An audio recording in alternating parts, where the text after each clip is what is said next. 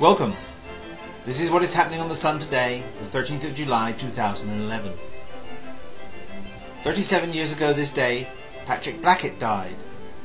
He won the Nobel Prize in Physics in 1948 for his work on cosmic rays, and so he could be considered legitimately the father of modern geophysics, and hence space weather, which is what we're really talking about here. He also happened to be a peer of the realm, so today's trivia question is, what peerage did he hold? The answer will be given at the end. So let's take a look at the GOES X-ray plot and see what flares have occurred in the last 24 hours. All we've had is one very sharp C flare and a bunch of medium level B flares. The X-ray background is stabilized at about the B2 level.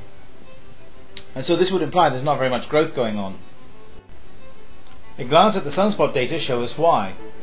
Regions 1247, 1249 and 1245 have all decayed to single spot regions. Region 1250 seems very similar to yesterday and hasn't grown very much. Region 1251 is a single large spot. All the other unnumbered regions that I identified yesterday seem to have decayed away. So there seems to be widespread magnetic decay across the Sun. There are two regions following along behind region 1251. But they're unnumbered yet, and I can't think why, because if you look at the magnetic data, it's clear that there are three regions there. There's also some bright plage coming over the southeast limb, which may be the next return of a, of a significant region. But we're going to have to wait a day or two to see what spots, if any, are there. The sunspot and magnetic movies from the HMI instrument on the Solar Dynamics Observatory show us the decay of these regions over the last 48 hours. Note how the trailing spots in region 1250 initially grow quite rapidly and then decay away towards the end of the sequence. It is also my impression in the magnetic movie that some of the regions are getting more diffuse and spread out, which probably explains why they're not producing very many flares. My apologies today for the quality of the AIA data, which is very patchy and incomplete. Considering NASA is paying a commercial company quite handsomely to produce this data for us, I think that they need to get some of their money back. However, in the transition region movie and the two coronal movies, you can see quite a lot of things going on. The most active regions seem to be those near the east limb so we have some hope for improved activity in the near future. You can also see in the southeast a new region coming over the limb, which is probably associated with that bright plage I mentioned earlier. Once again, the SOHO coronagraphs are presenting us with a paucity of data, but there doesn't seem to be a great deal going on anyway, so we aren't missing very much. The ACE spacecraft gives us information on the solar wind, and in the last 24 hours we can see that the temperature of the solar wind has dropped, as has the speed, whereas the density has remained relatively constant at less than 1 proton per cubic centimetre. This means that we're probably exiting the high-speed solar wind stream that we've been in for the last 24 hours or so. NOAA 15 provides us with data on the auroral zone. The most recent picture shows it's rather quiescent at the moment.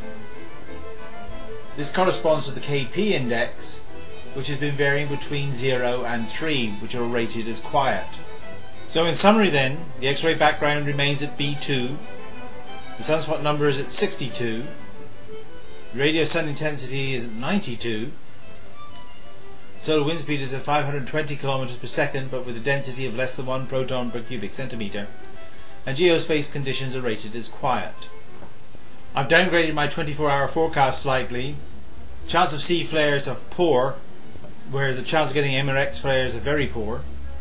The sunspot number seems to be going lower, Chance of getting CMEs is quite good. There are a couple of angry looking filaments on the sun at the moment, particularly in the southeast. The solar wind speed should go lower. The chance of getting a major geomagnetic storm in the next 24 hours is poor. However, we may be hit by that uh, CME that we saw a couple of days ago sometime tomorrow. That could make the geospace conditions go up to, say, minor storm. In the longer term, we have those regions coming over the southeast limb, and then there are several days before we get anything significant back. The answer to the trivia question is that he was a baron. If you want to find out more about what's going on on the Sun, follow some of the links in the description box below. If you want to see earlier editions of the Sun today, go to my channel, they're all listed there along with some global warming videos that you might find fun to watch. So that's it for today. Keep safe. Bye for now.